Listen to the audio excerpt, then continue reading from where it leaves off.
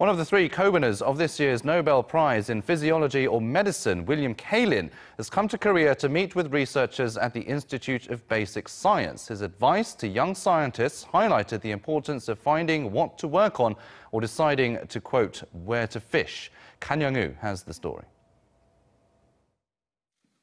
The 2019 Nobel Prize in Physiology or Medicine was jointly awarded to three scientists last month for their findings on how human cells react to oxygen levels changing. One of the three co-winners, William Kaelin, came to South Korea to share his discovery on defining the molecular pathway that cells use to sense whether they're getting enough oxygen, information cells use to adapt.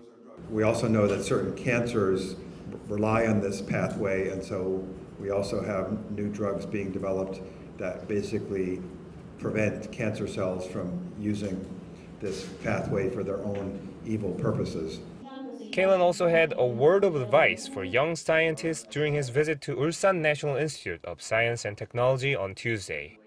When I was a young boy, uh, my father liked to fish, and I learned that one of the most important decisions a fisherman makes is where to fish.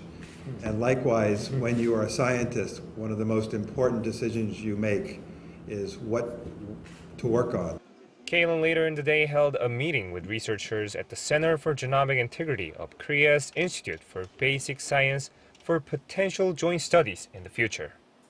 Here at the Center for Genomic Integrity, researchers are trying to find out more about how the molecular mechanisms of DNA replication, repair, and recombination work and discover answers to the origins of aging, cancer, and evolution. The Nobel Prize winner said both his lab in the US and Korea's Center for Genomic Integrity can learn from each other's research because they share the same goal of improving human lives by curing diseases. 간영우, 아리랑 뉴스, 울산.